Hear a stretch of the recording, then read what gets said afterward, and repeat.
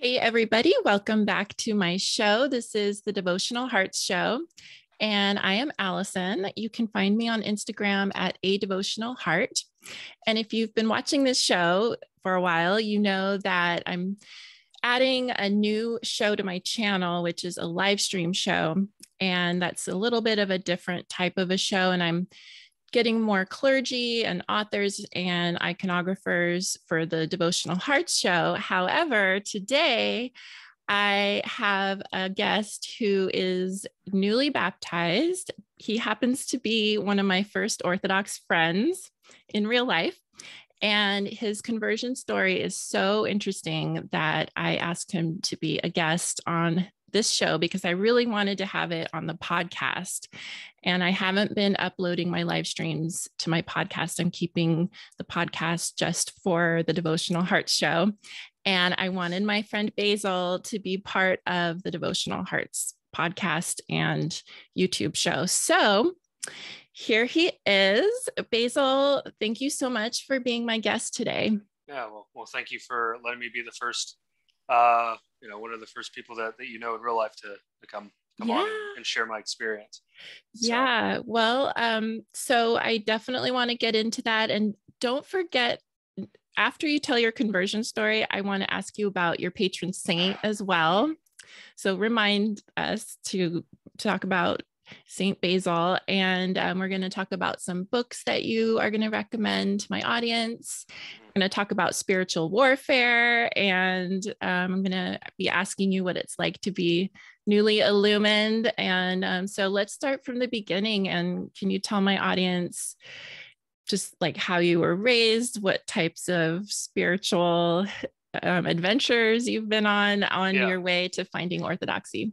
Okay, so uh, we're going to be chasing a few rabbits with this one. So um, I, I, grew up.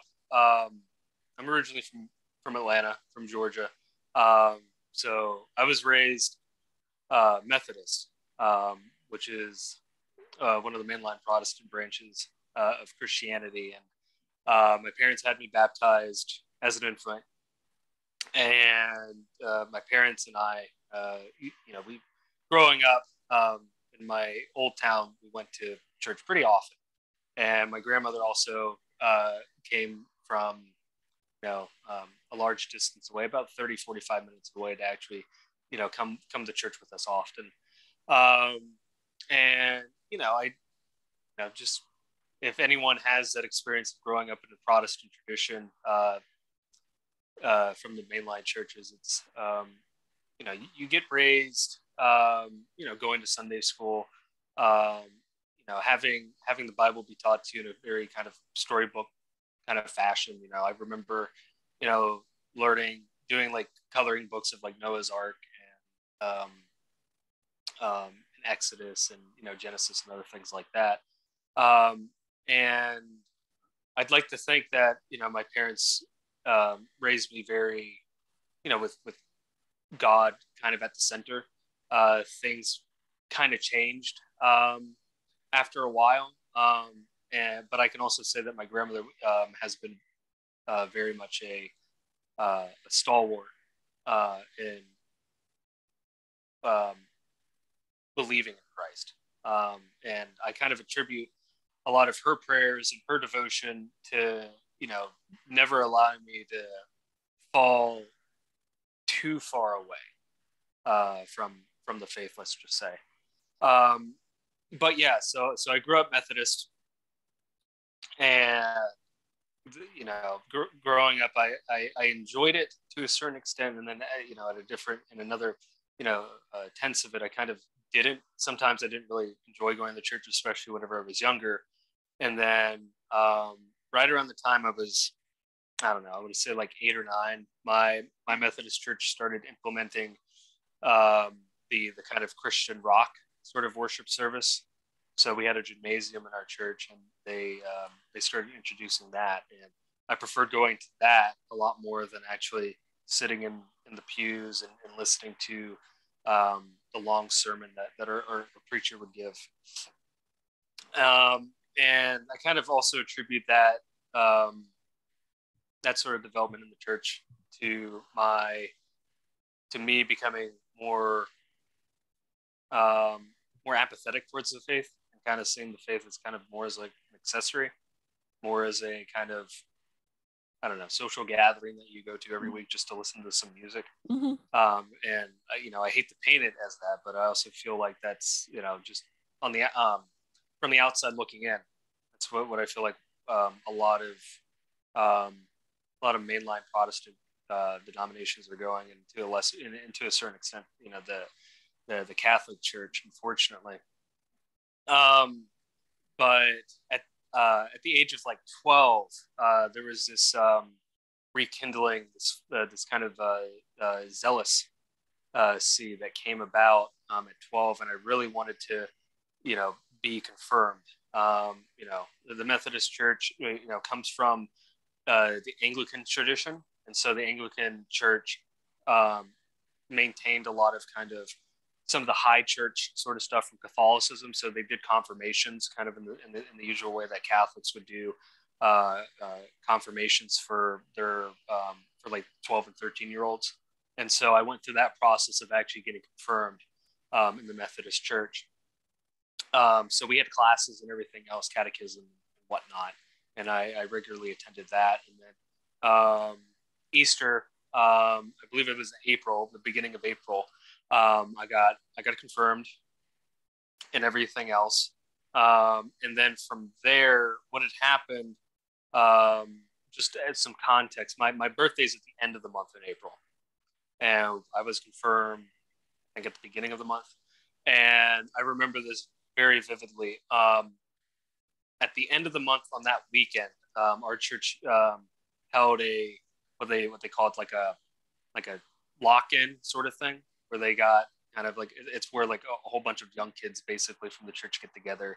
And it's like a like a you, you, spend the night at the church basically. And we did a whole bunch of events and other things like that. Um, and in the morning when my dad picked me up it was my birthday saturday. And for whatever reason on the car ride home i i i just i had this thought to myself that i didn't believe in, in god anymore. Hmm. don't I don't know what what came about with that. I mean, um, around that age too, I was also sort of uh, there was a period of questioning between like age 11 and 12, I, w- I would say, where I, I started looking at just just curious at different things and um, and I, I, don't know I, I don't know what what happened in that in that span between like 11 and 12 where um, where I started questioning, and then it sort of manifested itself after I was confirmed.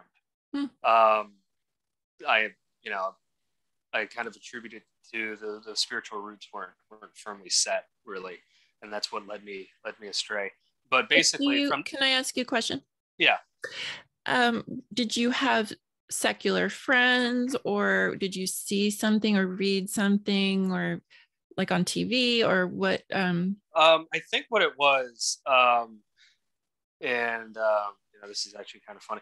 Um, right around that time, like in terms of um, influences and other things like that, um, um, I was I had a couple of friends and stuff um, in terms of back in middle school. You know, back then, you know, we, we shared music with each other and stuff. And, you know, my friends, I, I started getting into kind of like it sounds very like uh, very tropey, but starting to get like into heavy metal and other things like that. Mm-hmm. And, and, so started to get into like, you know, different sort of um, subgenres of heavy metal or just metal in general. Mm-hmm. Um, like, like black metal, that kind of stuff. Like speed so, metal.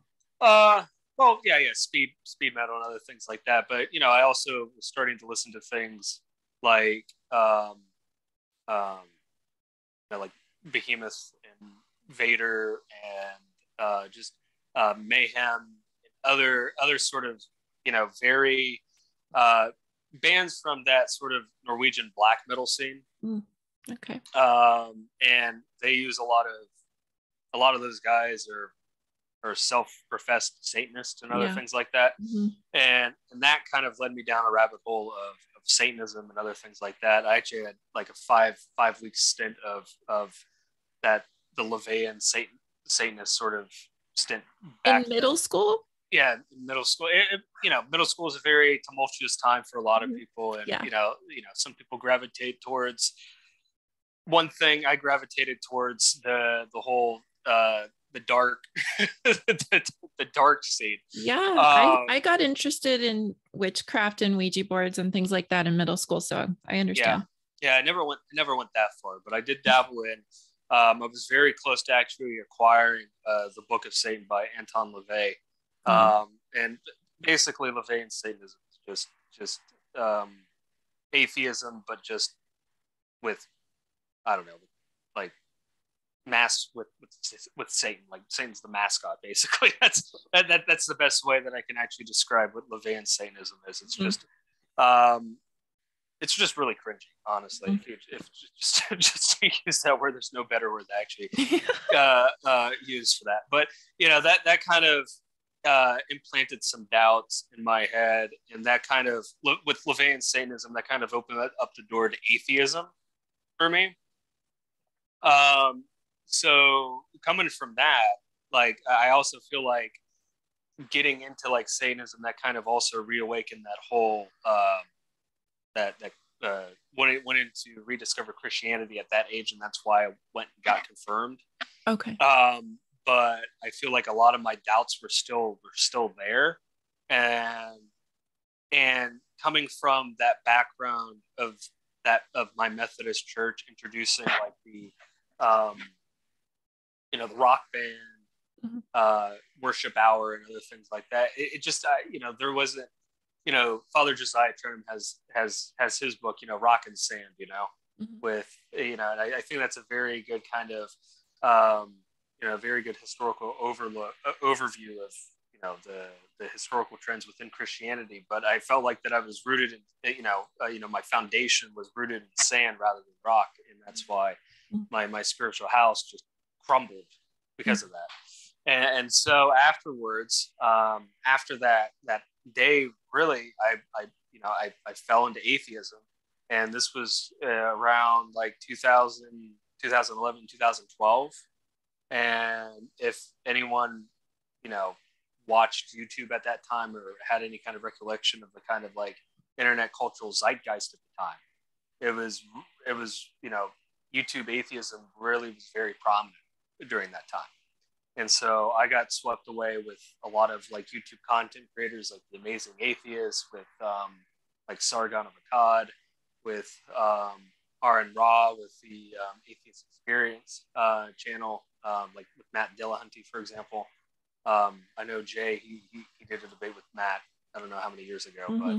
but um, basically that was kind of like what, what I gravitated towards. And, and also watching a lot of debates uh, with like Richard Dawkins, uh, you know, like Richard Dawkins, Dinesh uh, D'Souza, uh, uh, I can't pronounce his name right. I'm sorry, but you know, like those debates between like an atheist and a prominent, uh, you know, Christian, you know, watched a lot of like Christopher um, um, Christopher Hitchens videos, you know, Sam Sam Harris, that kind of thing, and was you know to a certain point, um, I was actually very kind of anti-theistic. I, I kind of I, I, hated God. You know, I, I, bought in the whole trope that you know uh, God is this very malevolent, you know, angry, you know, sky daddy. That's what you know, they call him, uh, sky daddy, sky fairy, um, and and, and believed, you know, bought into that whole, well, you know, if, if evil happens in the world, why does, you know, God's good, why does God allow, allow evil to happen in the world?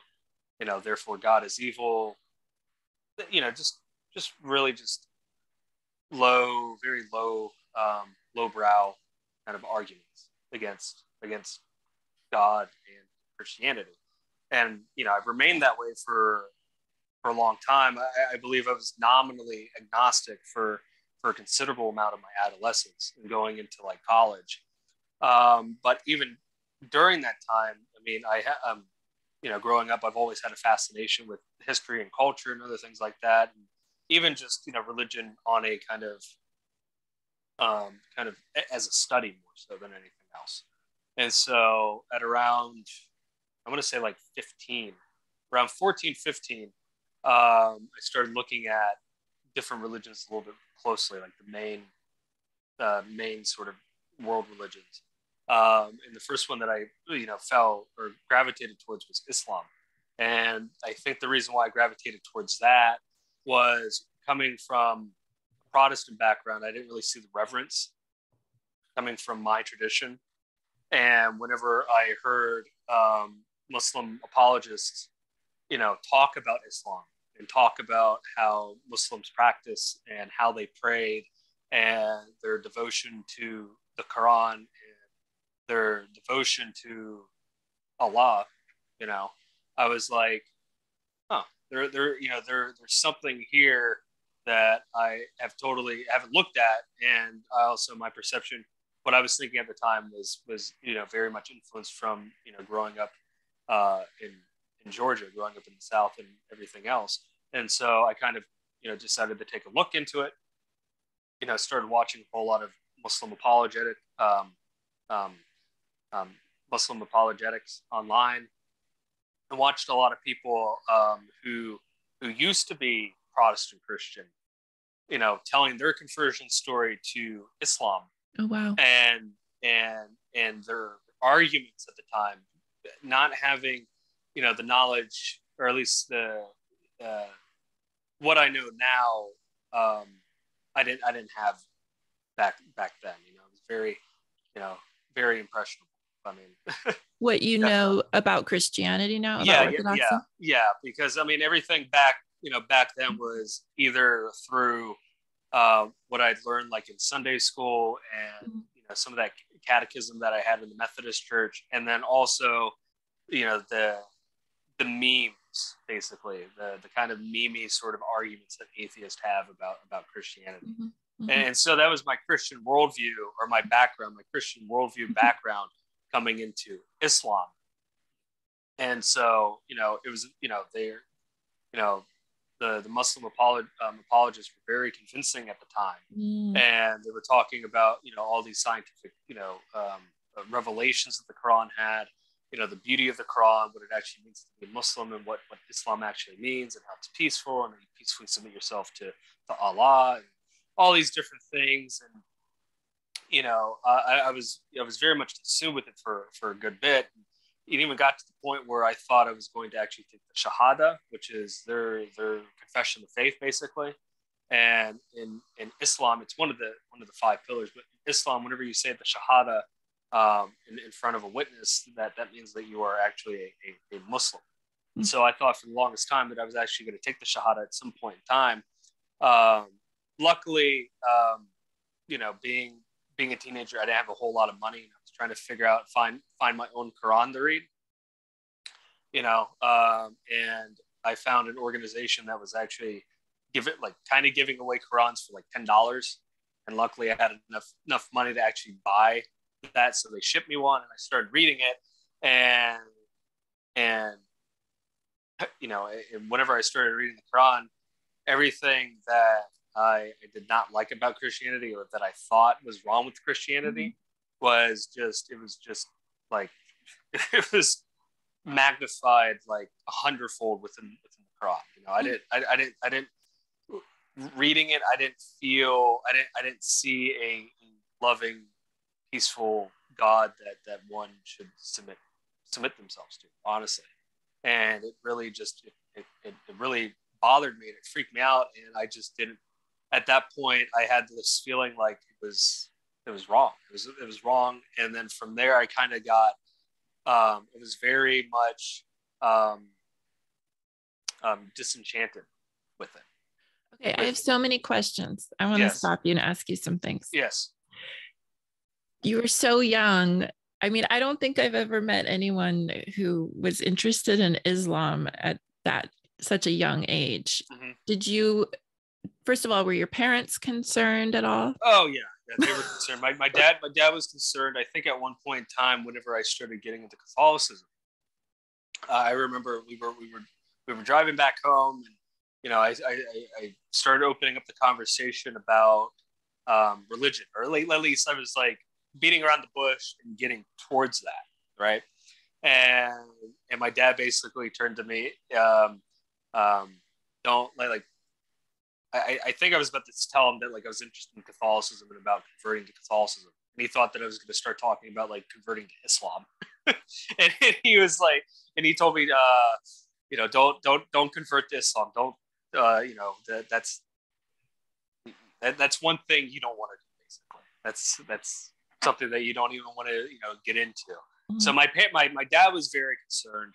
Um, I think my my grandmother knew as well, um, but my my my dad was was very concerned um, about that. Uh, and did you know any people in real life that you uh, could talk to about Islam? No, no. I mean, you know, I found I was able to talk to some people like online, mm-hmm.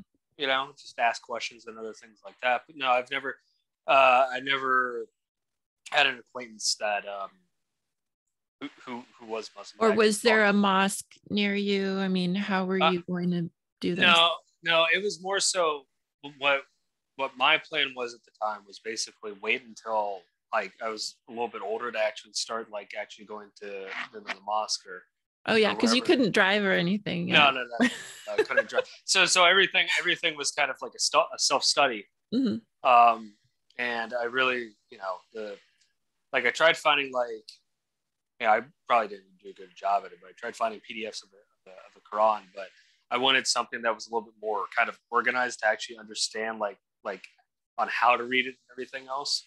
Um, so that's why I, I waited to to get a Quran order to, you know in order to read it. And whenever I started reading it, it was just you know I you know I started reading uh, the second I think it's you know the second chapter of the Quran, basically, and read that, and I was just like, it it, it, it didn't leave me feeling feeling good. I will, I will, I will tell you that. So then, for the people who who have never read the Quran and just have heard of it, mm-hmm. there there are parts of it that actually say that non-believers need to be killed and stuff like that, right? I mean, isn't there like really violent stuff in there? I, I, I believe so. I mean, I'm not course, I'm not the expert. Like my my sort of um, studies of Islam are, you know, very I don't know, um, seven years removed. Not yeah. seven, more more than that actually now.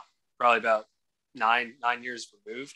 But I mean, yeah, I mean, and then there's also you know there's um, you know there are different sects of Islam as well. Mm-hmm. There are also like you know imams basically like who are kind of the the clerics of of that of, of Islam. Mm-hmm. You know, they have their own kind of specific teachings and other things like that. I mean, it's a very once you start getting down the rabbit trail of Islam, it's very you know, it's not. I don't want to say it's it's not black or white, but it's very it's everything's nuanced a little bit. If, if I will say that, but yeah, I believe that there are specific portions of the Quran that do talk about um, violence against the non-believers and other things like that. Um, but if, but I would I would have referred to someone like um, like um, Orthodox uh, Shahada and that because I know that they they produce a lot of good videos specifically on on Islam and the kind of Orthodox um, interpretation and perspective of what Islam actually is. And and I I just want to say I've known a couple Muslim people and mm-hmm. I I really don't think they believe that non-believers should be killed. So I just want to say that I I just said that because I've heard that. I don't want to I don't want any of my audience to think that I think that every Muslim wants to kill non-believers because I know that for a fact that that's not true. And also, did you ever get interested in Sufism at all, like Rumi and the? Uh, I've I heard of it. Definitely I heard of it. I think like um, more of my interest in kind of like Sufism or like the mystical side of Islam kind of like began a little bit closer to now. Like, like um, I started looking at it a little bit. Like the more that I got into orthodoxy, like more recently, just because I didn't know too much about the mystical side of Islam. Uh, um, but at that time, no, no, that wasn't that wasn't ever on my radar. It was pretty much just you know Sunni or, or, or Shiite mm. for for for me at the time, and it was mm-hmm. basically just you and, know Sunni just one last question um, because i knew someone long time ago like oh gosh decades ago it was a really long time ago and it was a couple and they were becoming muslim and they this was the first time I heard about praying five times a day and washing their hands and feet, I guess, before they prayed. And I thought that was really beautiful. And um, I I liked that they that they made a commitment to praying five times a day. I thought that was really cool. But that was all I knew about Islam. I mean, they were my first exposure to it. And I just wonder if that kind of devote, because you had mentioned the word devotion earlier, maybe is this what what drew you to it? It was yeah. like a lifestyle of worship. Yeah, yeah. And you know, they took it they took it seriously. Mm-hmm. Like, I mean, you mm-hmm. know, most most Muslims that you do meet, I mean, are very are very committed Muslims. You know, they're very devotional. You know, they actually, you know, they follow the five pillars. You know, very, you know, almost to a T, right? Um, you and know, you were it, comparing that to the Christians who just go to church on Sunday. Yeah, what what I was coming from, basically, you know. Yeah. Um, you know, and it was very much a kind of, you know, I, you know, basically just kind of wearing, you know, wearing wearing Christ, but wearing him only as an ornament, you know, instead of actually, you know, living a life in Christ. You mm-hmm. know, they were, you know, it just felt very artificial. It just felt, you know, like, like, like as I was saying before, like a social gathering. It was just right, something right, that you did on, on Sundays to, you know, as an obligation, as a religious obligation, but also as a social event. Mm-hmm, mm-hmm. So whatever, whenever I discovered Islam, it was very much like, wow, okay, mm-hmm. like there there's something there's something here mm-hmm. and so that's i feel like why i gravitated towards it but afterwards after i got kind of after i read the quran and did did more and more digging you know more and more looking uh, and i just kind of walked away from it didn't never touched it again i i started going um, east i started going you know towards um, you know towards buddhism and hinduism and like uh, Sikhism, uh, other things like that. I never really spent too much time with, uh, with those specific religions, uh, just um, just because I just I for for me it just it never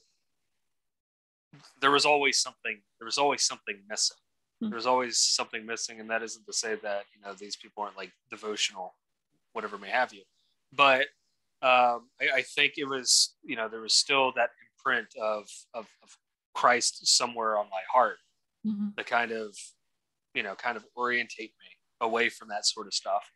But what what ended up happening was I eventually um, found paganism, um, European European paganism, and it, you know it, the reason why that stuck with me was because I, I felt like there was some sort of there was some sort of connection there um, both kind of spiritually and ancestrally in that in that in that regard that i felt like you know it would make sense for me to you know at the time this is my logic believe um, believe in a believe in a religion that that's actually connected to my my ancestors from from long ago right mm-hmm. um, and that's where that's where I gravitated towards, and I felt like out of the uh, you know it's very difficult to talk about paganism just because it's you know it's um, you know it's it relies heavily on on reconstruction you know relies heavily on a lot of kind of you're you're inserting a lot of modernism into it right? Like there are fragments from the past that you can kind of gather but ultimately like what ends up happening is you're just you're kind of you're you're kind of basically pulling like a pantheon of gods, really.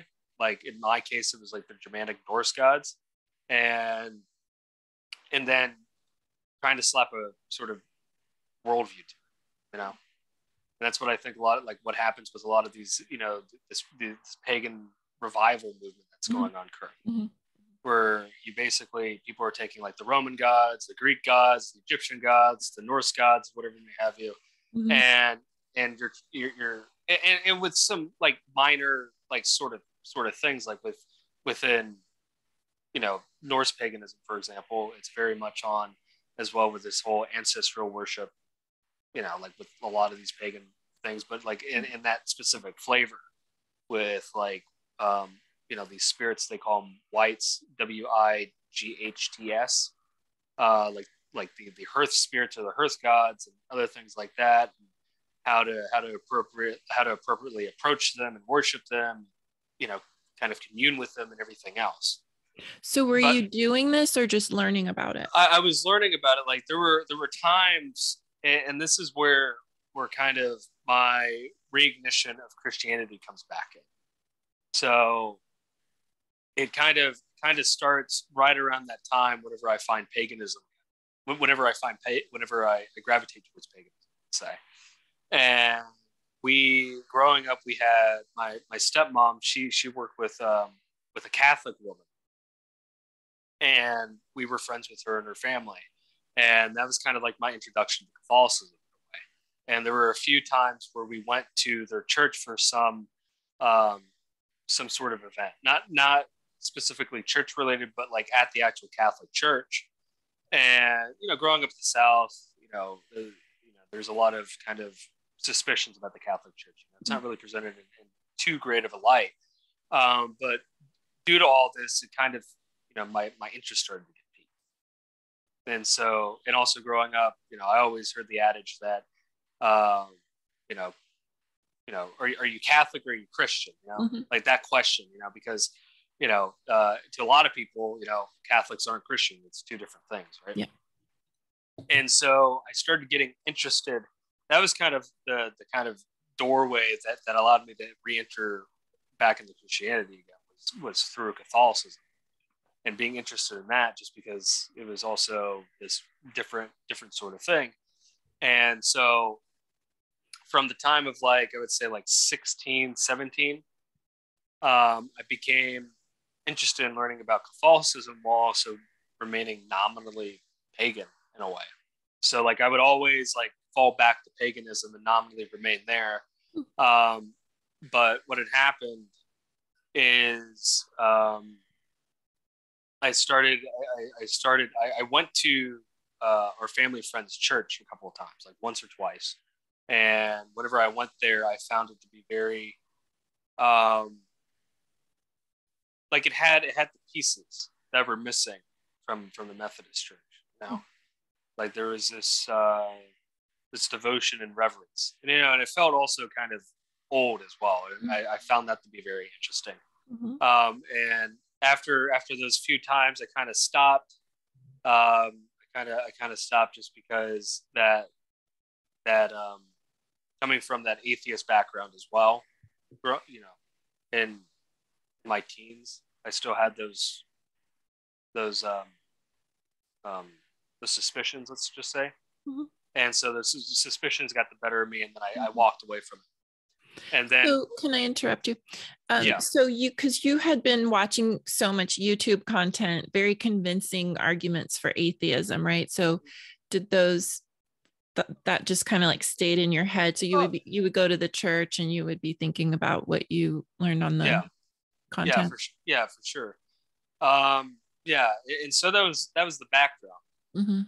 and then you know moving forward, getting closer and closer at the you know towards the end of high school and then the college, um, I I I I had this you know this weird you know this experience for the better part of six six years or so, where around the summertime and I, um, for whatever reason, I like to call it that, that, that Christ was knocking knocking on the door, um, because at, at, this point, doing my kind of survey of the different religions, and especially spending so much time in Islam, and then looking at the different ones, I, I, I knew I had I had this feeling to myself that I hate I hate using the feeling, but I I knew that if if anything had to be had to actually be set in stone for me, it had to be on reflection. It had to be it had to be Christianity or had to be like my my my paganism. Hmm. I don't know if that makes any sense. Mm-hmm. But but moving moving moving forward with that, what what what happened every single summer that that that occurred uh, since like age seventeen, right around that time, was that every single summer I'd have this this urge to look into Christianity. And so I spent the better part of my my summers, it would seem like, revisiting it again and doing a, a deep dive that I I hadn't done when when I was a Christian or the, the education that I didn't receive I, I, I did on my. Um, and, and and through that, um, it took a while, but like for two two or three years, looking at the kind of at, at the church history, at the the theology and the dogmatics of it all. Uh, what what I eventually came to to realize is that if, if, if you know Christianity were true, that the whatever whatever church it was, the the thing that had to actually be present as, as kind of as the cornerstone of everything had to be the um, the true presence of the Eucharist, hmm. and so that's where I kind of began my you know search for the the true church. Hmm. Hmm. Um, in those in those like six years or so, hmm. and and you know I think God that that's where I where I started. Yeah. Instead of going off of something else, like mm-hmm. some other criteria, like I don't know, I don't know like um, I, I can't really tell you. Like I don't know, like the you know whatever church I go into has to have you know beautiful architecture or something like that, or, or something you know um, something that conforms with my own beliefs, right? Mm-hmm, you know, mm-hmm, so. I'm I'm you know thank God, thank God for that. But you know, and luckily for me, what it did was that in my mind, it really narrowed things down to kind of the three churches uh, the Catholic Church, the Anglican Episcopal Church, and then the Orthodox Church. And so I, I remained with the Catholic Church for but you knew you knew about orthodoxy i i knew about orthodoxy okay. i wasn't i wasn't at all familiar with it i i knew that it existed. And my my understanding or the scope of my understanding about orthodoxy was that it was the church that split off from the catholic church uh, during the schism in and that was and that was pretty much the extent. I knew russians and greeks were, were orthodox and that um, it was it was a very at the time speaking at the time was a very ethnic thing you know mm-hmm. and there weren't a whole lot of orthodox in, in the united states. So we just to clarify so you you thought that the Catholic Church was the original church, and then Orthodoxy split off from that. Yeah, is that what yeah. you? Because that's yeah. I think that's what they tell Catholics, right? Isn't that well? Kind of well, yeah, and that's also like a lot of times, like whenever, like I, I remember, you know, in school, that's how it was presented. That the church in the West, whenever that occurred, um, the schism in 1054, the, the Orthodox split from the, the, the West, the church. Okay. The West. Oh, right, and, because the way we're taught, it's like everything is Western based. Yeah. Uh-huh. Yeah, okay. unfortunately.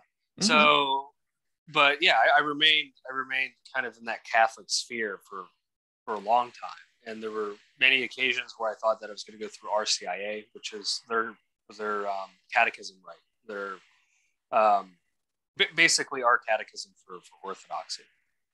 Um, and during those many years of, of looking what what happened was um, I was trying to pinpoint where where, where the actual truth um, was, and in conjunction with my you know revisiting of scripture of, of church history, heuristics, and other things like that, and I and in that time I was I was trying to believe that Catholicism was where it was.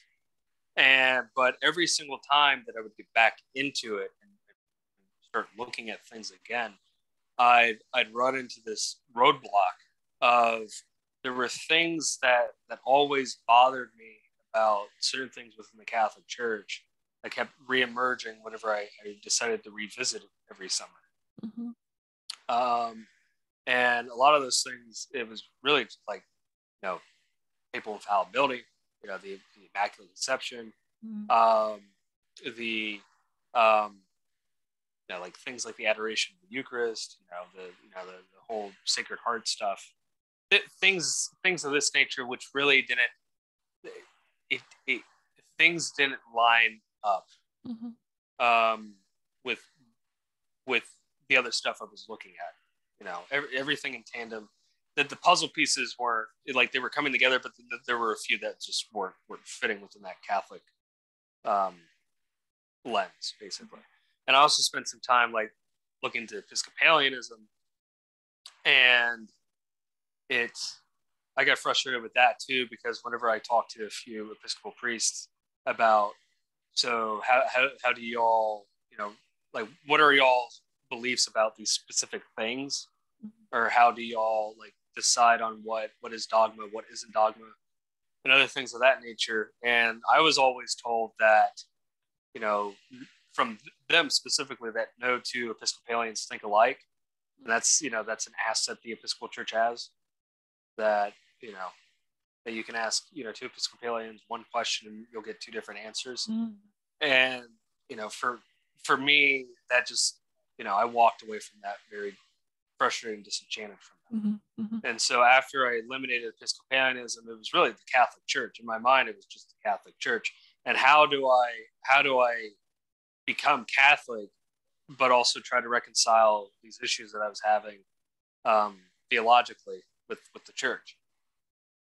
Um, and there came a point back in like 20, 2019, 2020, where I was I was about pretty much done with um, with Christianity in the church, and I was just like, okay, this this it isn't going to get resolved, and so I became very kind of uh, more a little bit more resolute with my paganism because, like as I Oh. said, that's where I would always fall back to after Mhm. after my frustrations just blew up, and it was just like I can't I can't get solid answers on this. This there there there are parts here that aren't lining up, and I was just I can't believe in something that doesn't make sense.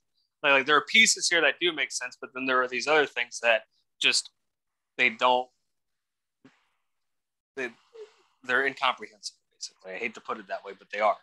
Um, and so in 20, 2019, 2020, I decided to revisit my paganism again. And, and I made the, the conscious decision of starting to actually um, do kind of do more of a deeper dive in that on how to actually like start worshiping appropriately. So I So started. you get- you hadn't up till then you hadn't been in a men's group or I don't know what would you you don't call No, it I- a coven, right? What do they uh, what do they call call it? Um, they call it like um, what do they call it? um, not not kin. Like uh, like some of them call them tribes. Some of them Oh. call them like other things like that. Like they're. I mean, I was. I don't want to say I was part of a group. Like I was trying to like find a group, but Uh-huh. there wasn't really one around me that I liked. So I never really got involved with it so much. It was kind of more of like I was doing my own. Uh, I was I was I was trying to do as much as I could on my own, but I also kept on running into roadblocks trying to actually find resources on how to do things correctly. do you do they not you um they do things according to the moon cycle and like the times of the year they have special well, well, yeah, rituals like, and things? like like the solstice. I mean, that's Yuletide. I mean, that's I mean that's you know that there's that. I mean, yeah, there are there are you know specific like there's midsummer for example, and just other things that they that they do incorporate in in that. But I was also very wary of some of the things that I was coming across because even whenever I was pagan, I never I never liked the whole astrology, new age kind of Mhm. stuff. Mhm, I was never into like that whole the whole Wicca kind of thing mhm. where, where where they started doing like magic and other things of that nature. I never, I I I I, I, never liked that. I always felt like that that was kind of you were kind of my my thought at the time was that you were kind of combining two different things that that that needed to be separated. Like one was a was a ancestral religion that was you know being rebuilt or reconstructed, and then the other one was something that was developed in the 1930s by mm-hmm. A- A- Aleister Crowley and alice bailey and Alice Bailey. Hel- helena blavatsky yeah, and all and all and all that stuff. And it was it felt like that some of the people, a lot of the people within that movement were trying to combine the two and just mm-hmm. basically take take the pantheon of, of Norse gods and just you know just basically you know, make Wicca Norse basically because they liked, you know, the Marvel movies or something like that. I don't know. But that's what it felt like to me. And so, like, some of the stuff that I was coming across online and some of the books that I was reading implemented those things. Like with, um, like the like one of the big things was like like runes, like rune reading. Oh yeah, yeah, like yeah. I got and, into runes when I was like thirteen. And and for me, it always that bothered me because I was just like, that's not like it, it, felt like you were like they were trying to make runes into tarot cards. Yeah. Mm-hmm. And I was just like, that's not that's that's not what runes are. That's not, that's not that's not what it is. So it was for for me whenever I was pagan, it was trying to weed through all that stuff. But a lot of stuff, like as I was saying, a lot of the stuff that I was finding and reading incorporated a lot of that stuff. So I had to be very kind of selective mm. and, and the things that I was reading. And that's why I kind of thank God for this that I held off from doing any kind of worship because I felt like a lot of the worship that that I was like the, the like the um, the procedures for for worshiping, um, I felt like they, they incorporated a lot of the Wicca stuff, and I and I as I said I, I didn't feel like I I didn't feel like it was true to that to what the the faith would have been. Did they do any sacrificing of chickens or anything like that? Uh, I'm I'm sure some some did, but the main most of the stuff whenever I was going to start getting into it was more of kind of like earth earth worship, mm-hmm. like house spirits basically, and offer offerings to to those. Mm-hmm. But I never I never I, was never able to actually fully complete my my worship area or my altar table, for example. Like I was I was very close. I was I was very, very close from actually beginning. Mm-hmm. And then that's when Christ kind of like, you know, knocked, you know, basically, you know, threw the door off the hinges. Let's just say. Oh. So, so, so I'll, I'll, get to that. In in, yeah. in, in college, um, I was interested in religion, of course, and I started taking a little bit, a little bit of religion courses. And we did a history of Christianity, and in that course, I kind of found myself being on the Catholic position. But then there was that uh, I was talking to my professor, you know, about my struggle because at that time I was like, you know, I'm going to RCIA, I'm starting to go to RCIA, but I just don't like. I, I'm I'm hesitant of like actually like taking that step to actually like go through the catechism process and be baptized Catholic. Um, and I asked him like, hey, did you have like these issues like between like the big three? Because he was a very knowledgeable person about Christianity. And you know, and I also mentioned Orthodoxy because at that time in college I knew a little bit of it. I actually found uh, uh, Bishop Kallistos Ware um, um, Introduction to the Orthodox Church. I read a little bit of it. Mm-hmm. Um, I didn't read a whole lot because in that in his book he actually starts he starts in the history of the Orthodox Church, and in that he he basically tackles a lot of the heavier stuff like the autocephalous nature of the churches and what the national churches mean and everything else. And I was really just trying to find like the meat and potatoes of, of it all. And it just, for me at the time, it was very heavy whenever I was trying to actually solve these key, key issues that I, that I talked about before, like the papal infallibility and immaculate conception and other things of that nature. And, and after that sort of like, um, questioning with him, he, what he told me was, um, he, he had he had the same issues with me, but he ended up basically he and his wife decided to go to the Episcopal Church, hmm. um, and that didn't leave me. And of course, that disenchanted me again because I already had my issues with the Episcopal mm-hmm. Church, and I saw it as it, it, just felt lukewarm. It just felt very lukewarm. Mm-hmm. Um, and so, going away from that, um, I felt very dignified in my paganism. And after graduation and everything, I was like, okay, I'm going to actually take this thing, I'm going to take this seriously now. I'm actually going to start, um, you know, worshiping appropriately. And in my college town, there, there was a, you know, new age store and they had some like some Norse pagan items and everything else that I was, you know, kind of acquiring a little bit, everything else. Um, and then, um, you know, um, going into 2020, everything else, uh, you know, of course, it's when COVID happens and everything. But right around the summertime in May, June, it happens again. But it happens in a different way than than how it happened before. where um, before it was just kind of like this. I don't know. I would call it like my my soul or heart kind of leaping out, kind of like you know leading me back to Christianity or leading me to look back into Christianity again.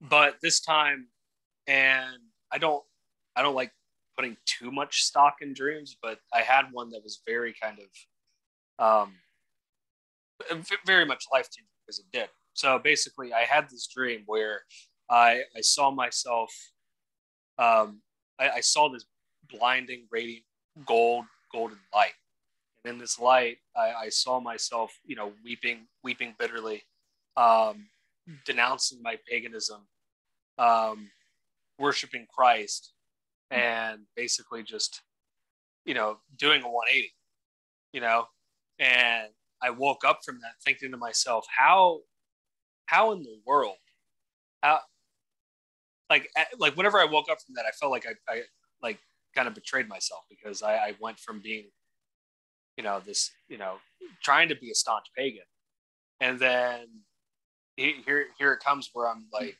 you know, like weeping and, and professing Christ as as as Lord. Wow. You know, and and in March of 2020, I even got a tattoo, a pagan tattoo, to kind of kind of you know you know cement that you know the, the paganism actually going down that path. But I felt like you know Christ literally like ripped the ripped the hinges off the door and and and, pulled me back from it. So I spent about three days pondering on it and, and chewing on what what that what that dream was. Hmm. And I decided to go back home, pull out all my religious books that I'd bought while I was in college and everything else. And a lot of them were Catholic. And what what I ended up finding was the Eastern Rite Catholic Church. Mm-hmm. And in the Eastern Rite Catholic Church, it was I was also getting disenchanted with the Catholic Church because of the Novus Ordo, because of the liturgy, because I was touring a lot of different different Catholic churches whenever we would go down to Florida to visit my grandmother.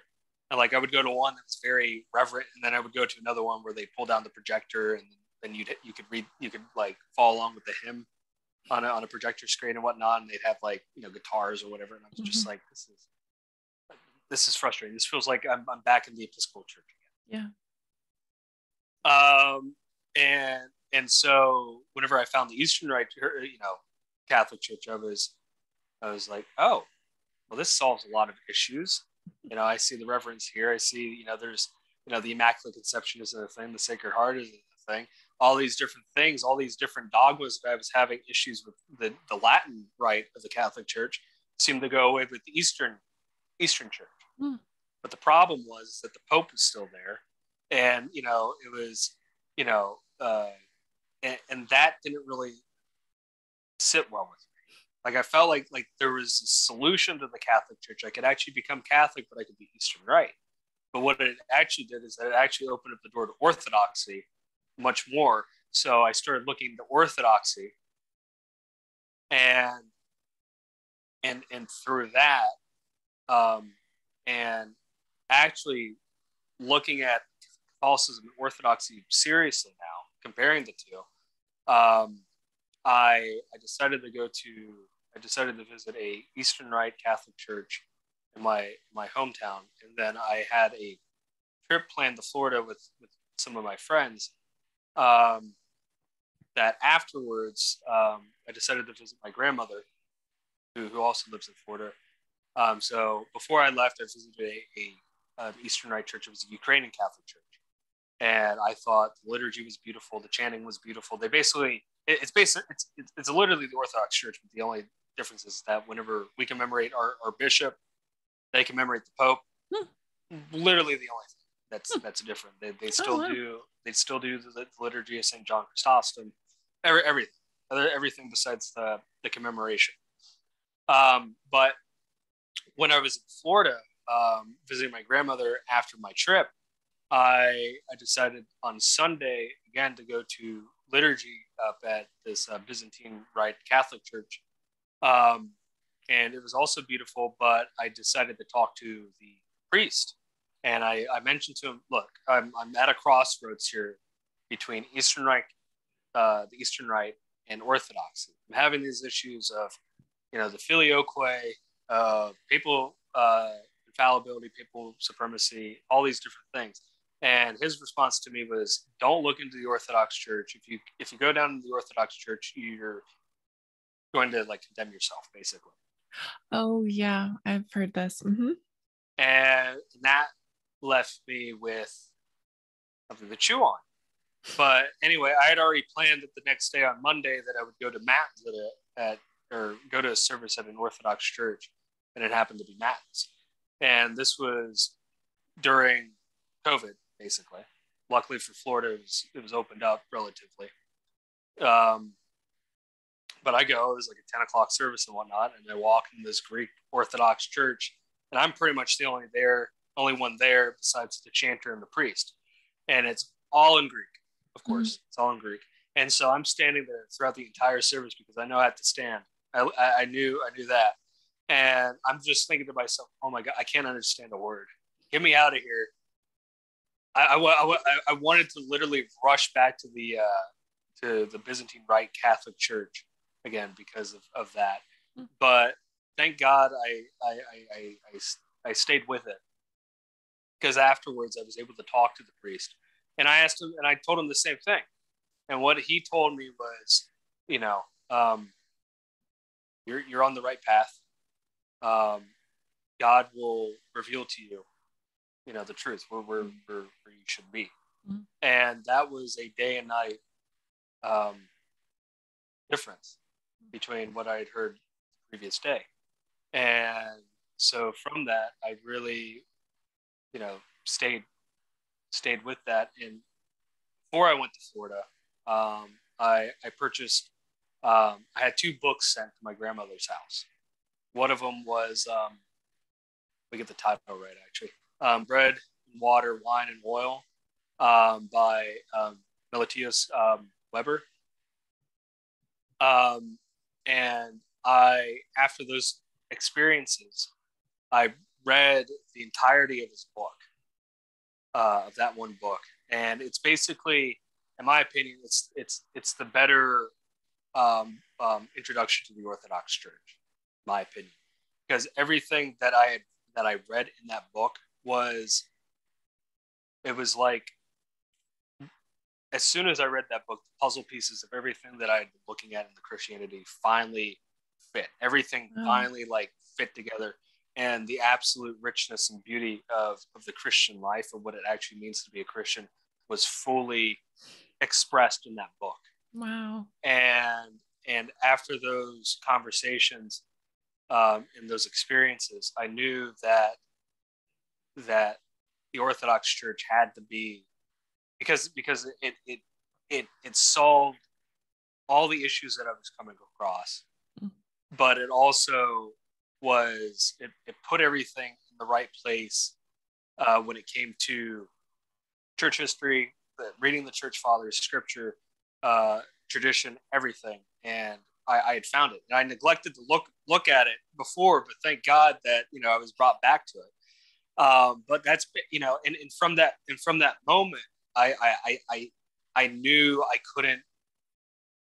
After that moment, I, I knew I couldn't I couldn't turn back from from the Church of Christ mm-hmm. because it was so it was so apparent that that you know one there is a God you know you know and you know he you know he's Christ and and, and it just it was just everything that the, the I can't really put it into into into good words at the moment, but it was. Let me let me let me try to find the, the right way to, to phrase this real quick. Hold on. It's okay. Um,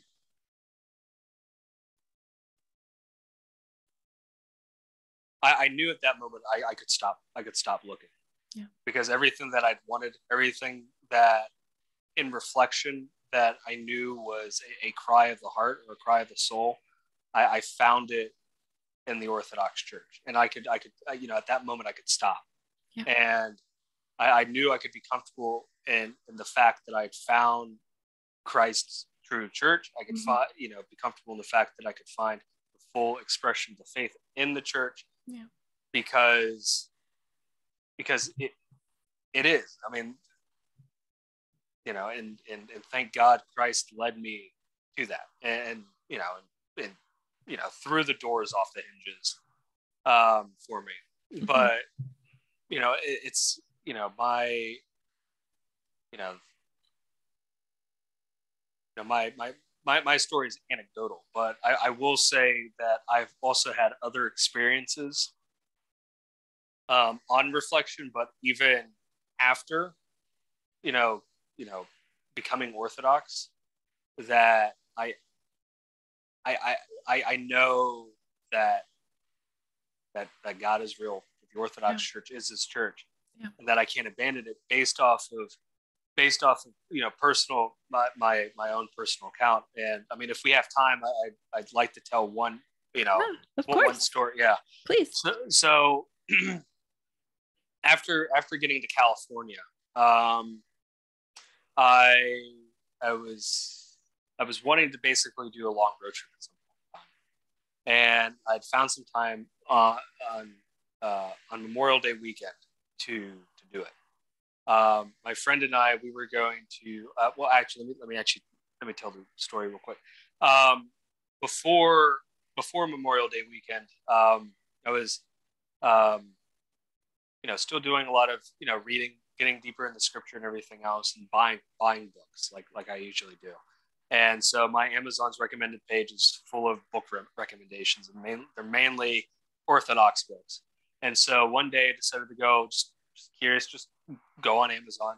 And one of the books that I, I, I see and that I've seen a lot was uh, Christ the Eternal Tao. Mm-hmm. I've seen it before and I thought it was very interesting. I was like, what, what, what is this book? Is this like some weird, like new age ecumenical book, or is this actually a serious book? And, and so I decided to click it, you know, to, to look at it because I'm like, eh, you know, I have time. Let, let me look at it. And so I click it, you know, and I start, you know, reading more about it. And I'm, you know, and the author of the book is Abbot Damascene. So I decided to read about him a little bit. Mm-hmm. You know, it says on on his like author's blurb or whatever that he's abbot of St. Herman um, of Alaska Monastery in Platina, California. I'm like, oh, I've, I've wanted to, you know, go to a, to a monastery you know, St. Anthony's was the number one that I wanted to go to mm-hmm. ever since, you know, coming into Orthodoxy and knowing about, you know, monasteries and everything else. But since I was in California, I decided to look at where it was. You know, it's about five and a half hours, six hours away from where I'm at. I think to myself, oh, yeah, I want to do a road trip. This is a perfect time to do a road trip. So I, I, I decided to tell, you know, my friend, hey, uh, you want to go to a monastery? He's like, sure, I've never been to one. He's, he was Lutheran. Um, and so we make plans for that. Um, a couple of days before, he decides to not go for for for another reason, uh, for some reason or another, and I I go on my own. And the the morning of whenever I'm supposed to leave, I wake up and I think to myself, ah, I don't want to. Do I really want to drive six hours? And I I had to tell myself to get myself out of bed because one, I I bought the the brothers up there some olive oil, hmm. so I had to. So I I told myself, you, you bought you bought all you bought this olive oil. You got to go up there. You can't just you can't not just like buy buy this olive oil for them and not, not show up. So I go up there. I make it up there. I make it up like right around noon. And as I pull in, uh, uh, Father Paisi comes out of the main gate. We start talking and everything else. And I tell him a little bit about like you know what I told you about the book and everything else about Abbot Damascene. I mentioned Abbot Damascene, and he and he tells me, well, you know, you know, with Damascene's health and everything else, you might not, you know, you might not see him much, or you might not even see him at all. And at that point in time, he and another brother they go go in one of the vehicles and they do chores and whatnot. And then one of the brothers comes out. We walk down to the uh, to the guest house to put my stuff away, and I walk back up for the optional meal. And mind you, this is my first time at a, at a monastery. And I'm by myself. Like there are no other pilgrims there besides the brothers. Excuse me. And um, I know because I've read about like monastery etiquette before coming up there that I know that they generate like a rule of silence So I, I think to myself, okay, well, what I have, I don't want to bother them. I don't want to, you know, like snoop around or anything, whatever may have you. No one has come out to do a tour for me yet. So I'll just go down to the guest house and I'll, I'll relax for. Me. And so whenever I get down to the guest house, I open up my, my luggage and I think to myself, well, what better time to kick up my feet and read the Bible? So I, I, I take my, my great grandmother's advice because she's always said that the, the first book of the Bible that you should always read is the Gospel of John. Mm-hmm. And so I'm like, I'll, I'll, go ahead. I'll, re- I'll reread the Gospel of John. So I, uh, I prop myself up on, on, on one of their beds. And the bed is, you know, this is uh, pertinent to the story. The bed is up against uh, one of the windows of the guest house.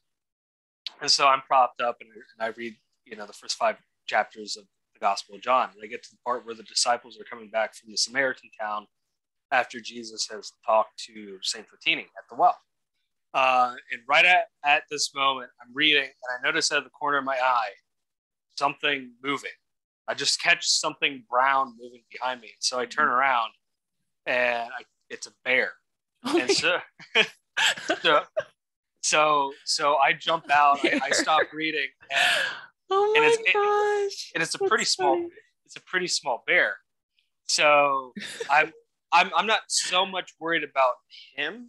I'm more worried about if he's small, where's Mama Bear at? And so like I'm thinking to myself, oh my god, what what what luck has it that that I come to a monastery all by myself. There's no one around. I'm at the bottom of this slope and I'm gonna die to to a to a bear attack. I'm gonna get mauled you know, basically.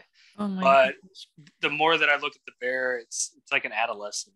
like it, he looked more hot, hungry than anything else. He was probably just looking for some water or food. But you know, I, I took a picture of him when whatever his paws were up on, on one of the windowsills. It's pretty funny.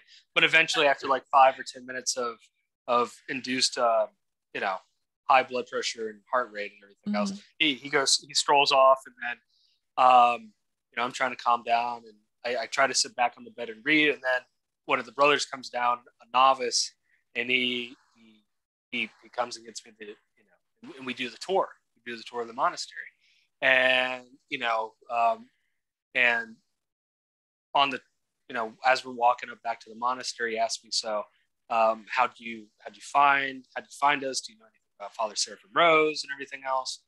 Um, and that was another another reason why I decided to go up there was because knowing about the the history of, of Saint Herman of uh, uh, Monastery, you know, with the connection between Father Seraphim Rose, because I knew about him whenever I was you know starting looking deeply in the Orthodoxy, and then his connection, Father Seraphim Rose's connection with uh, Saint John Maximovich, mm-hmm. because uh, about like a month ago or two before that time I had visited the um, Holy Virgin in San Francisco, and so I was just like, okay, this is this is too perfect. I got to go up there. I got to actually, I got to see it. I gotta, I gotta see it. it I, you know, God, God made it, you know, laid it out providentially that that I would, I would, I would stumble across this monastery, and I, I, I just had to see it. And that's what I told him. That's mm-hmm. what I told him. And I get to the part where I'm telling him about, you know, the Amazon, you know, finding the book on Amazon and reading about Ab, um, and we're sitting in the courtyard and no, you know, and who else comes walking walking down the path but Abbot you know? Oh.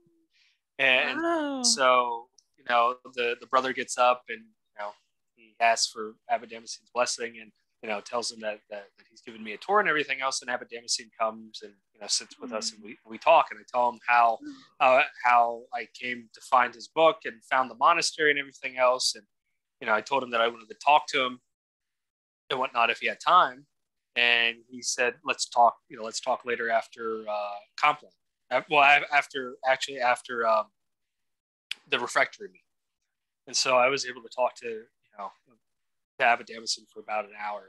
Wow. Um, after that, oh. it was that was it was it was it was wonderful. But anyway, and and so um, really the one of the reasons why I also wanted to go up there was to experience divine liturgy at, at a monastery. Mm-hmm. Um, unfortunately, up there they have their divine liturgy both on Saturday and Sunday. And at the time, at that night, I decided to um, I was going to leave the St. Herman's and go down to and, and go to Divine Liturgy on Sunday at Holy Virgin. So anyway, the morning comes on Saturday. I get there um, the day before on a Friday. So Saturday morning rolls around and I wake up and I go up and whatever may have you. Um, a pilgrim um, the night before he he comes and we talk and everything else. So I'm not alone that night, thank God. with with a bear out yeah. out, out there in the wild. Not. But anyway, so we um, so I, I go to the church and uh, for service and everything else. And during the service, um, a, a, young couple walk in. You know, the man has a beard and the wife has a has a head covering on, everything else. And on on first you know first glance looking at them, I think that they're like Bosnian or something like that. I think they're like you know not not American basically. And so you know the service of course is beautiful, and we have breakfast in the refectory. And I before I leave, I decided to go to the bookstore to pick up um, um, um, what is it, God's um, Revelations Human Heart, mm-hmm. the, the, the short talk that um, Father yeah. Seraphim Rose gave, because that pilgrim he, he gave me the recommendation to read it. So whenever I'm in the bookstore, a couple comes in, and they're they're speaking you know perfect American English and everything else. And I'm like, oh, they're they're American. So we start talking and everything else. I asked them, so how long did it take y'all to get you know to get up here from where y'all are? and they said like only five hours. I'm like, five hours? Well, I guess y'all must be really close to where I'm at. and so I asked them where you know, where they go to church and everything. They're, they're, like, oh yeah, we go to church in this this town, you know, about like 45 minutes away from where I'm at and everything hmm. else, at a location that I didn't, you know, whenever I was doing my my Google searches of trying to find um, churches in, in the area where I'm at in California, it never popped up on Google. Like that church never mm. specifically popped up, but another church that was that was close to it mm-hmm. always popped up. Uh-huh. But they told me about like during the pandemic, they never shut down. They have mm-hmm. 400 like you know converts, most of their churches converts, and I'm like, where the heck is this church? you know, how far? how like I didn't know exactly like where it was on. Mm-hmm. Like I had to figure out like like if it was like, you know, like like all the way up in like Milpitas or whatever may have you. Like how how far exactly is this church?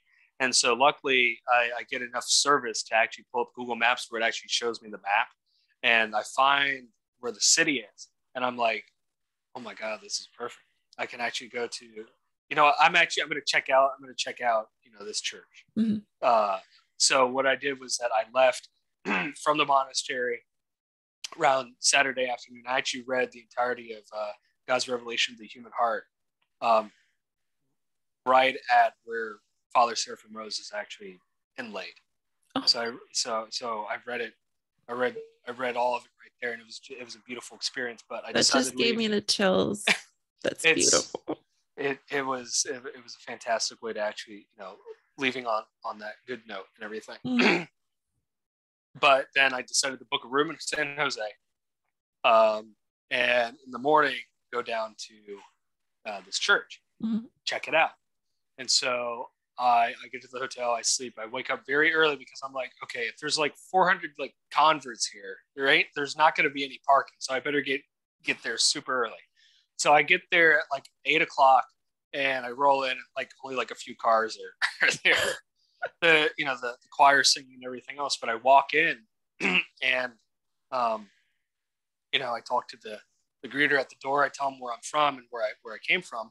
I mentioned, hey, like I'm, I'm from this area in, uh, in, uh, in, California, and he's like, oh, well, our our, our subdeacon, he, he he's he used to be from down there, and I, am cool, that's wonderful. And, he's, and he told me that he'd, he'd send the subdeacon to come talk to me. so I do my, I walk into the church, I venerate the icons, and I find a place to stand. And then shortly thereafter, the subdeacon comes up and we start talking and everything else, and we're chatting and everything else. And we eventually go outside because we're, you know, we don't want to be too loud.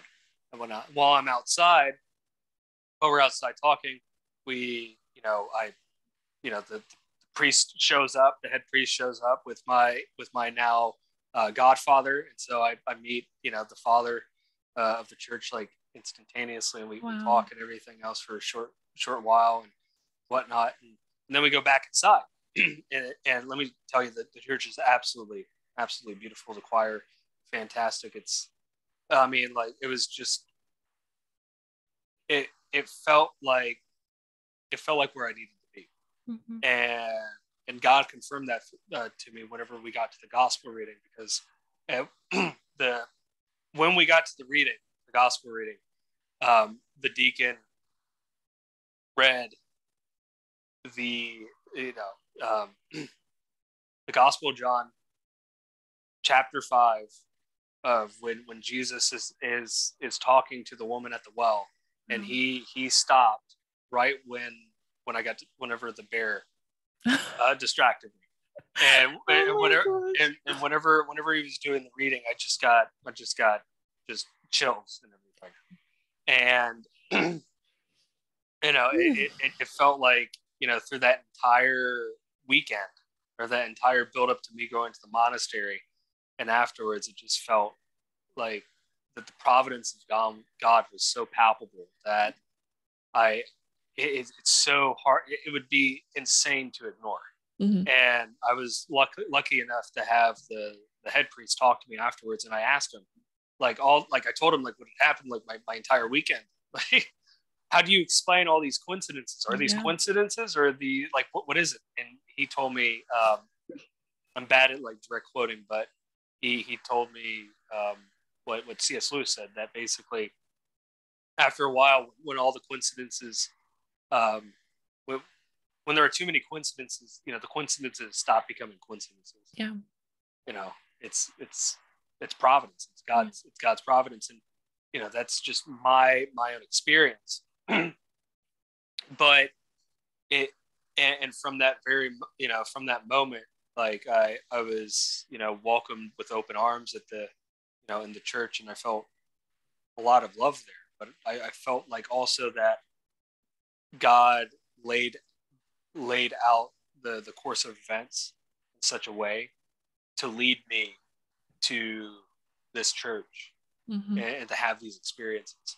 So I mean that's just another that's just an example of what I was saying about um, the just the palpability of God's existence. Yeah. Um, and everyone has these experiences, but you know, talking about them and and and and, and letting other people know of your experiences just it it, it confirms you know God's existence because I, you know I mean you can't just say that that all these things were just coincidences, right? It just, mm-hmm. it, it, I think it would be absolutely. I think it would be more insane just to say, "Oh, it's just a coincidence that that all these things happen," you know, and, and, and in a specific in, in a specific sort of, um, you know, how they happened in, in specific, you know, frames of reference and time reference, you know, because you, you it, it it's hard to actually put into words because you know trying to think of any other way to kind of to to explain it just doesn't make doesn't make sense to me just to say oh well x y and z happen mm-hmm. because they just happened in such a way and it just it it just happened. It was just something that it was just something that happened. And it, and it happened to work out in such a perfect way that that that these things aligned. Like to me that that like as i was saying it just sounds more insane than than you know literally God's uh, you know influence in that or right. God's you know direction in in that. Yeah. So, but anyway, I feel like I've been I've been chasing too many rabbits and rambling on. So. Oh no, this is great. I love that story. I want to um, I really wanted to talk about Saint Basil and spiritual warfare, but I had this idea that I would love to invite you to be on a panel upcoming that we the topic could be spiritual warfare so we can really get into it more because we're almost at like the hour and a half yeah. like once once you give us your book recommendations and talk about St. Basil I don't think there's really going to be enough time to really get into the huge topic of oh, spiritual oh, yeah. warfare. Oh, oh yeah. And I'm yeah, complete i'm gonna you know complete novice at, at the whole spiritual warfare like you know you know thing. I, I think I think that's the you know the humble way to approach approach that. Um, j- just because I mean, I think you know with, with the whole spiritual warfare thing, we uh, I I I know I fall down a lot. I, I fall down a lot, and it's, and it's a constant it's a constant constant battle for sure. But um, but yeah, I mean, I'd love to I'd love to talk about it. I'd love to talk about it as well. Great. Okay, so how did you choose your saint, your patron saint, and tell us a little bit about him? Yeah, so um, I'm going to say that I it was it was another another piece of God's providence again. So it there I'll I'll uh, I'll shorten this story down a bit, okay? But um, uh, so in July of last year, uh, my my now godfather and I made a made a made a trip up to Platina again for um, uh, Fourth of July weekend, uh, and we we met up with another person from the church. So the first day that we get up there, we go to the bookstore and everything else, and I at the time I'd been like uh, just thinking about you know saints. Like like what what what what what uh what saint would I take as my patron basically? And I had about like six or seven different saints like in my mind you know mm-hmm. for various reasons. And in the bookstore I I asked him I say hey um what what's the process like for like picking a patron saint? Like how do you do? And he told me of his story whenever he was riding his bike one day uh, on his way to church that he just the name just came to him or whatever. And whenever he got home he decided to look look up if if you know if this was an actual like saint or person. And it turned out that that that it was that it i can't remember exactly what um what exactly he said about um about his his saint but that it was it was just so it was like like it just struck him basically. Like it just hit him over the head and it was right there for him. That makes any sense. Mm-hmm. So anyway, we um, after after one of the evening services, we go to refectory, and um, Abbot Damascene's there, and we're the only three pilgrims there. But whenever at the end of the refectory meal, whenever he's doing his announcements, he he introduces us to the to the brotherhood. And so he goes, he goes down the line. He he introduces my godfather, and he says his name, and he introduces the our friend from from our church. He says his name, and then whenever he gets to me, he says, uh, "And welcome Basil uh, from from the from from our church as well." And so mm. we don't, you know, it takes about like a minute or two for not a minute, a second or two for us to say anything to correct him to say my actual like my my birth name and and afterwards, like shortly thereafter, my my godfather, he's sitting right next to me, turns to me and he's like, "Well, there, there you go. there, there's your mm. there's your saint." Wow. And uh, a little before that, anyway, I was I, I was curious about how uh, you know Saint Saint Basil Cathedral in, in, Moscow got its name. I was thinking to myself, is it is it named after Saint Basil the Great, or is it some other saint? So I did a little did a little Google search and you know, that's when when I found out that it was uh, St. Basil the Fool for Christ of Moscow, and so that kind of played into it a little bit. You know, so my my my saint is uh, St. Basil the Fool for Christ, mm-hmm. um, and I I you know I, I give I give credit to, to God for for giving me that name. And are you a fool for Christ? Uh, I, I feel I feel like that's a um, that that's a title that I really gotta I have to actually you know work and struggle on.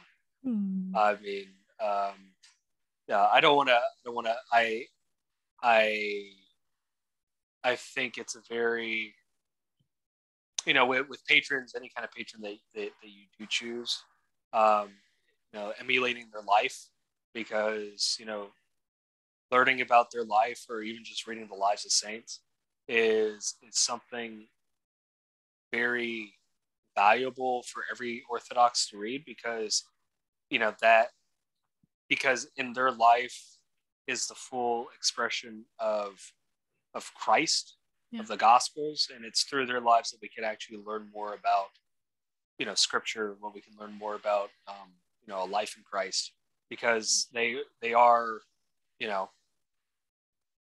they they are part of, of you know, um, you know this you know basic.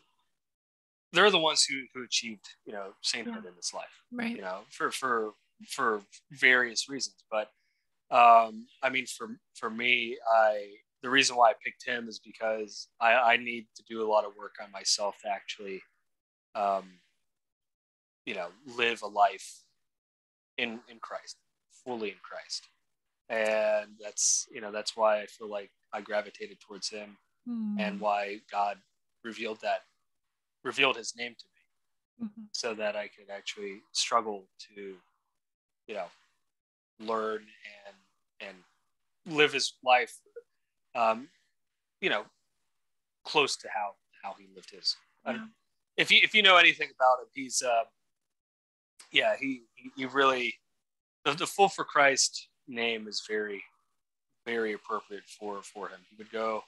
Um, he he was alive during the reign of um, um, Tsar Ivan the Fourth, Hmm. who was called. Um, you know, a lot of people know know him as like Ivan the Terrible, Mhm. and so there were many instances where where he actually stood up to Ivan, and he was the only person in in Russia that uh, Ivan Ivan the Fourth actually feared Hmm. because he wasn't he was he basically you know he he uh, Saint Basil was the one to call out his sins. Mm. Um, like there was an instance on during Lent, um, and I think it was either like at a feast or on the battlefield or, or somewhere, or they're going, or Ivan is leading his troops or something like that. I can't remember exactly what what the scene is, but um, what Saint Basil does is he throws meat ha- meat at him. I think it's whenever they're eating, so it has to be like whenever like he Saint Basil is invited to his court, but he basically brings meat with him. And he throws meat at at Ivan, and Ivan is shocked and he says, "Why are you throwing me meat? It's it's Lent. We're not supposed to be eating eating meat." And then Saint Basil basically calls him out and says, "You know, for you know, for all the bloodshed that you've committed, because at the time they were at war with uh with I think like within Russia or a different group of people, that it would be better for you to eat meat because of all the bloodshed that you've that you've spilt during during Lent. So, you know, that's just um, you know one of the ways that you know Saint you know Saint Basil really you know kind of you know yeah he scared he scared Ivan because he was so clairvoyant at the age of sixteen. Um, like he was actually training to become like a cobbler, and this wealthy um, um, mercantilist basically came in to get his shoes done, and he went to Basil and he said, you know, I want these shoes in this specific configuration. And St. Basil said to him, why am I going to make shoes for you when in three days you're going to die? Mm. And the, the wealthy, the wealthy man was scandalized by it. And his, and his, you know, master that he was apprenticing under, you know, chastised him.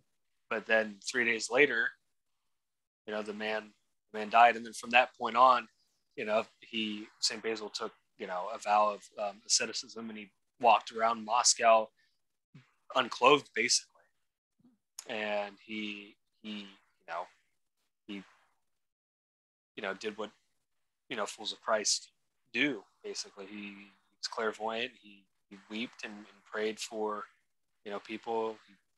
You know you know another instance is that um, he would throw throw rocks at um, at houses of, of people, and people would ask him, "Why are you doing this?" And he said that he was throwing houses at the demons who were who were who were torturing, you know, you know, the houses of basically the demons like who were trying to affect people who were very like Mhm. ardent in their faith. Mhm. And then he would go around some houses kissing them at, at- on on their corners because he was he was kissing the angels who were who were protecting, you know, others in the um, in the in the city of Moscow. Oh my So, gosh. That's wow. just a that's just a little um, um, you know some some stories from his life. So, what are the books you wanted to recommend to my audience? Um, so I um, there there are a few. Um, there are a lot of books that I that I do like. Um, one of them I've already mentioned, which is um, um, I, I, I recommended this to anyone who, who is just starting out with Orthodoxy or wants to find out about Orthodoxy. Um, Bread and Water, Wine and Oil by Meletios Weber.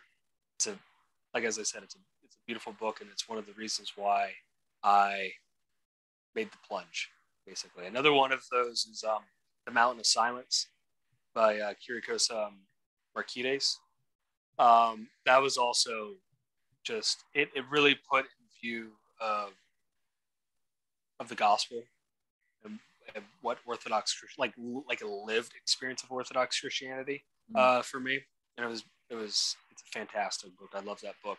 Another one is um, the Struggle for Virtue by uh, Archbishop Averki. Um, it's a very it's heavy. I mean, it's easy to read, but it's also very heavy because it's um, it, talks about how to live the ascetical life in, in, in a modern secular society. Mm. And this was composed in like the 19, very contemporary, like 1960s, 1970s. It's taken from a, a lot of his talks that he gave. Mm. So I, I like that one a lot. This one is is also much much heavier than this, um, but it's um, Sunflower by Saint John of Tobolsk, who is actually, you know, funnily enough, a, a distant relative of St. John Maximovich. Hmm. And and actually St. John Maximovich, I, I believe, took his name St. John from his relative St. John of Tobolsk. So it's a it's a it's a the, book is divided into like four chapters, but each chapter are divided into, parts. So like each part may be like half a page to like maybe five pages. So it's very, it's it's easier to kind of divide the book, but it's it, it's very very heavy because mm-hmm. the very first thing that that he talks about in this book is why does God seemingly allow evil in the world? Mm-hmm. Basically talks he basically tackles ta- tackles the problem of evil. Mm-hmm. But the the subtitle of this book is conforming the will of man to the will of God, and I think it's it's this is one of these books that I believe everyone should should read. Okay. Honestly. Um, another one is um, Shepherd of Souls. This is uh, produced by Saint Herman of Alaska, but this is about the the life and teaching of Saint um, of Elder Cleopa of Romania, who was the um, um, the spiritual father of Romania during the last uh, during the last century. And this this book honestly brought me to tears because oh. Elder Elder Cleopa is just he's uh, there, there are no words, but I recommend this one. This is also a very, you know, very short read, very light as well. Um, and then another one of St. Um, Herman Alaska books that I, I love a lot is uh, The Love of God. And it's about the, um, the life and teachings of St. Gabriel of the Seven Lakes Monastery. And I just, whenever I bought this book, I read pretty much the, the first half of, of this book in a day. Oh, wow. And the first half is about the life of, of Saint Gabriel. And it's just a, his, his life is, it, it, like as I said, no, no words, just, you know, buy these books. You know, good thing about a lot of St. Herman of Alaska, the books that they produce, they're, they're relatively cheap to how much content you can get. Like this book, I paid uh, $20 mm-hmm. and this is a thick book. A lot of their books are like that. So anything that they have produced in house is very good. Their their Optina Elder series, which I think they have nine now, and I believe they want to do. They're waiting to write or or compile like two or three more, I believe. Or there's one more. I can't remember. I talked to the one one of the brothers who, who actually works on the books not not too long ago. Whenever I was up there last time, hmm. and they're still waiting to. I think I can't remember how many of the Optina Optina elders there are, but there there will be like one or two more publications, I think, of that series. What what's the name of the monastery? Uh, Saint Saint Herman of Alaska. I mean, um, where's Saint Basil? I mean, um, Saint Gabriel. Oh, okay. Uh, of the Seven Lakes Monastery. Seven Lakes. Where's yeah. that? Um, I don't want to say. I part of me wants to say it's near Kazan, but I don't think that's right. Okay, I'll, I'll know, look into it. Yeah, yeah, but it's a very I'm, good book. I'm really into learning about the history of monasteries. I it's so fascinating, and I love the ones that are in like the Sinai and Egypt mm-hmm. and um like all over Greece and yeah, so cool. Yeah, I, I, I, think a good book about like the desert ones is also another one of um, Kyriakos Markides. I think it's. Oh, let me look it up real quick. It's. Let's see. It's. Um, uh, it's oh yeah, gifts. Uh, gifts of the desert. Mm. That's another one of his books. It's also pretty pretty good. But in that he also talks about like him him and his wife going down to the Sinai and also visiting St. Catherine's there. Yes, St. Catherine's. Oh my gosh. Can you imagine? Can you even imagine going to visit that monastery? Yeah, it would be it, so amazing. It'd be fan- it would be mm. just so spiritually enlightening. I can't I can't even explain it. Uh, and then one last one that I do mm-hmm. want to mention. It's okay. um it, it's a um it's more for it's more of a worship book than anything else, but it's a uh, it's a spiritual psalter and it's produced by I think um, Saint um, what is it? Um, I remember what it's produced by, but oh yeah, Saint John of Kronstadt Press in Tennessee. But this is a the the spiritual psalter written by Ephraim the Assyr the Syrian, and so it has 150 of his psalms that that he that he composed, mm. and it's just my my favorite one is I think you can find a PDF of it online if you look it up. But my my favorite one that every time that I read it, I, I weep. It's um, his Psalm 10. Okay. And it's very good. I I I, I love I love the spiritual psalter. Um, of course, there's no substitute for the actual psalter, but yeah. this one is it's just it's it's perfect for like personal devotion. Mm well. So thank you so yeah. much for these great recommendations. Yeah, of course. So, Basil, we've been talking for about an hour and a half. I just want to thank you again so much. And um, I learned a lot from you, I learned a lot about your story. I want to say that your discernment and questioning is very admirable. And and um, before I was a Christian, I didn't even know that Christians could ask so many questions. I always thought it was just like you just read the Bible and believed in God. And and at such a young age you had questions and you went out in search of the answers and it brought you home to the Orthodox Church. And so that's why I'm so happy to have you as a guest on this show because it's just the perfect conversion story for my channel. So thank yeah. you. Well, I'm happy to, to have shared it. I'm sorry if, if it, at times it seemed like that I was, you know, trying to find the words or if I was. Oh no, uh, that's how it is. I mean, myself. no, I mean, talking about these things, it, it, it is hard to find the words. It's hard mm-hmm. for me as well. And um, please give my regards to your lovely wife. And um, what else? I just think thank you, thank you again for this opportunity, and I can't wait to have you back on my panel. Wonderful. So we'll figure out when that will be. That as well. And to my audience, thank you again, as always, for liking and sharing my videos. If there's someone in your life that you think could benefit from this interview today, I would be so grateful if you would share it.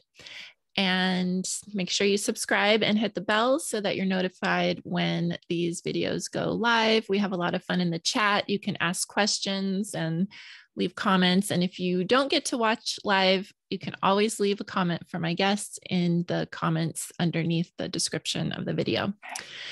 And follow me at Instagram at a devotional heart. All of my links are in the description. I have a link tree, it's a bit.ly link, and you can find me at any of those places. If you're a woman who's interested in Orthodoxy or even a baptized Orthodox Christian who would like to be part of my Telegram group, you can just send me a message on Instagram and um, I vet every person, make sure they're a woman and interested in orthodoxy. So that's how I do that is through Instagram. If you don't have Instagram, I have an email address in the bit.ly link.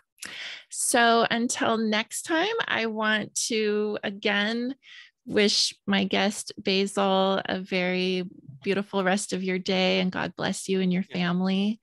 And my audience, God bless you as well. And I will see you next time. Bye.